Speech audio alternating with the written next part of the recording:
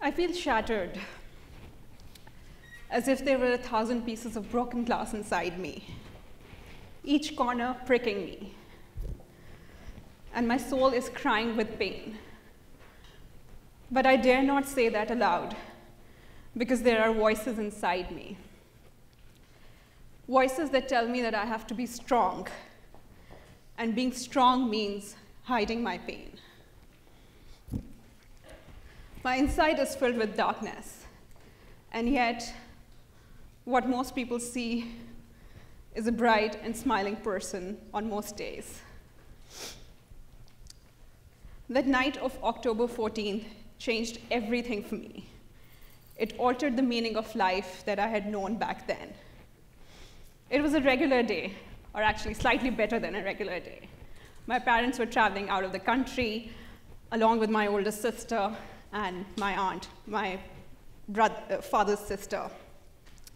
So I had invited all my friends over for lunch at home, and my brother's wife cooked us a fabulous meal. We had a great time looking at her jewelry and her fancy clothes and the wedding pictures. My brother had only been married for six months. By the time my friends left, I sat down to finish my homework for the day. It was around 8 p.m. or sooner that I got done. Nida was still studying. She's my younger sister. She's also my best friend. And given her presence, I never felt the need to make any other friends. I scolded her for still not having finished her homework. While she was only 11 months younger than me, I easily took on the role of supervising her. I felt like the older sister. Since there was still time for dinner, I thought I'd go and see my friend who lived just across the street, two minutes away. As I was leaving, my brother, whom we call Bhai, was watching grandma's favorite TV show with her in the lounge, and his wife was cooking dinner. My female cousin, who was staying with us, walked up with me to my friend's place, and then she said she'll go back and help uh, my brother's wife uh, in the dinner. Little did we know what was about to happen. As me and my friend sat in her parents' room talking, we heard a loud metal bang. We laughed it off, thinking that their car must have hit against the gate once again. There was something that usually happened. In a few seconds, we heard her mom, who came yelling upstairs and telling us to get under the bed. We could not understand why she would be asking us to do so. She came upstairs and switched off the lights.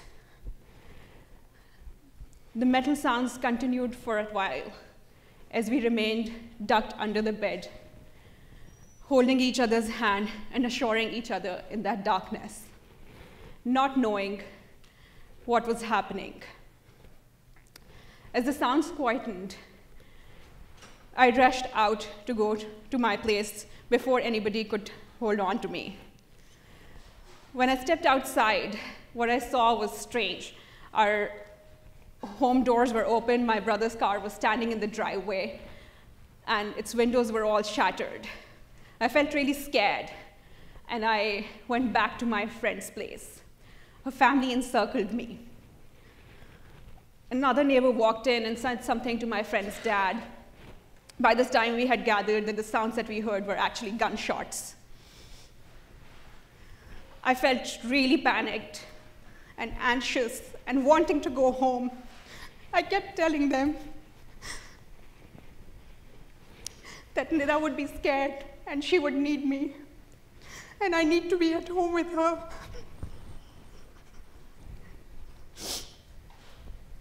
But they would not let me leave.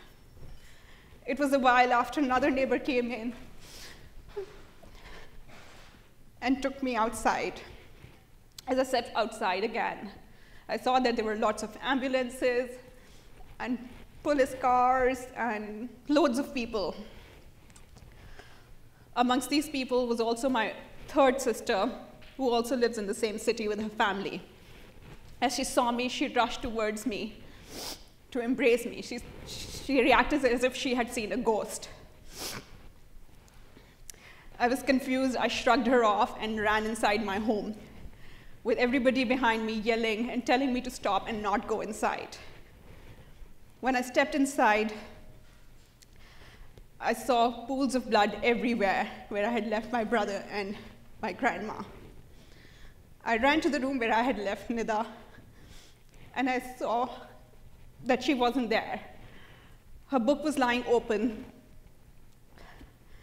and while she wasn't there, her long strands of hair were caught between the pages of her book. I went to the kitchen. It was empty utensils lying on the floor. The whole house was like a battlefield. There was a hole in the TV screen, and there was blood everywhere. And I still did not know what had happened.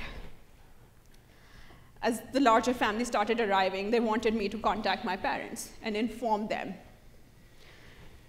And I told them to contact my male cousin because his mom was also with my parents.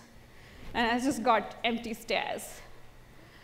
I did not know that he had been shot outside his home.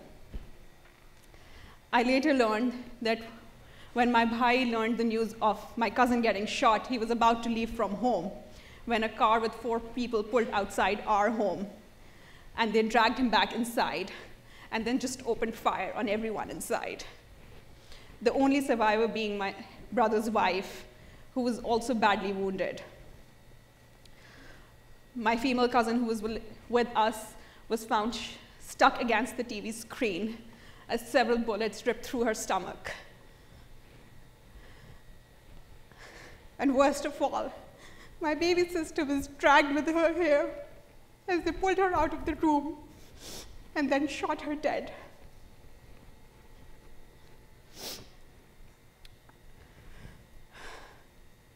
we had to inform our parents.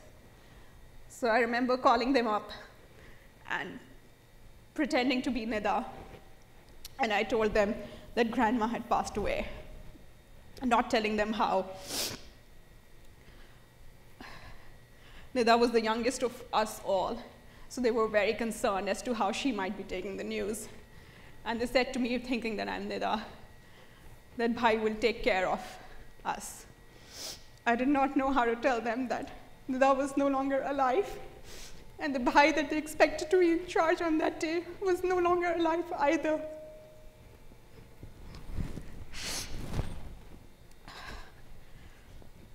The rest of the night is kind of a blur. I just know in that moment when I spoke to my parents while I was only 14 years old it kind of defined how I dealt with pain for the rest of my life. Because I knew my parents' loss was huge, and we had to be strong for them. The next morning, they told us that we should go ahead with grandma's burial and they would return as scheduled in 10 days. It is then that we had to inform them of what had happened and the return arrangements were made, and they came back home the next day.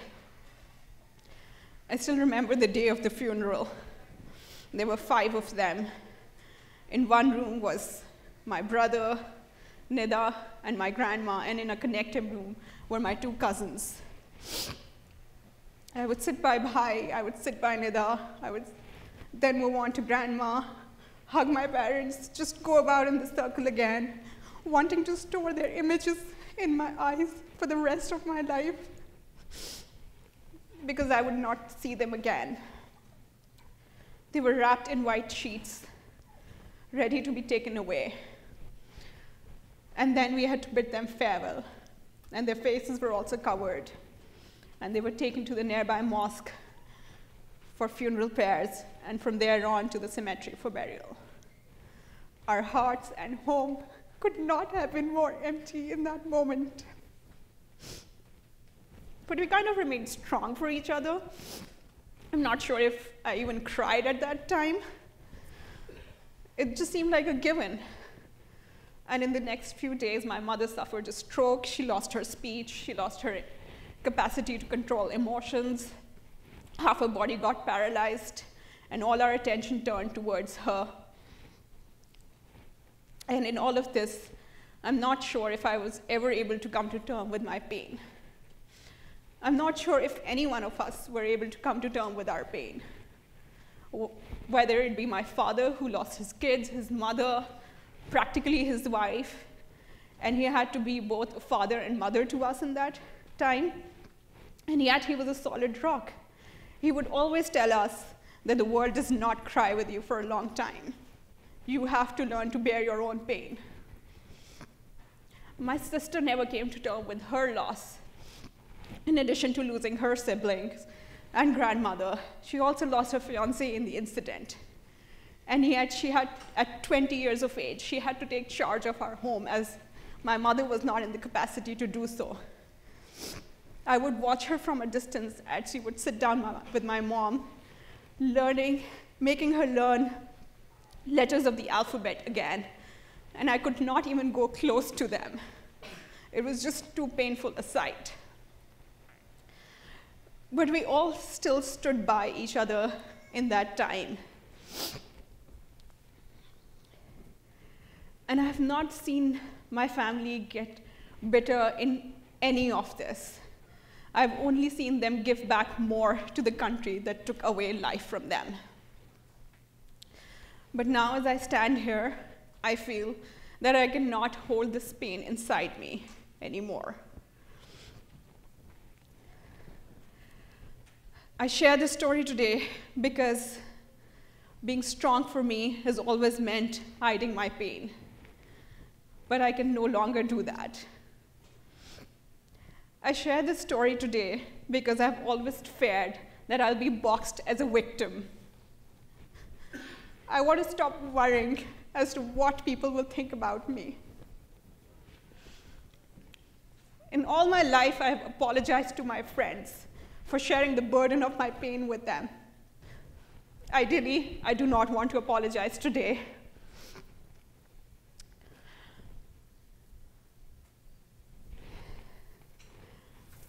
I know I will never get past this loss. It will live with me forever.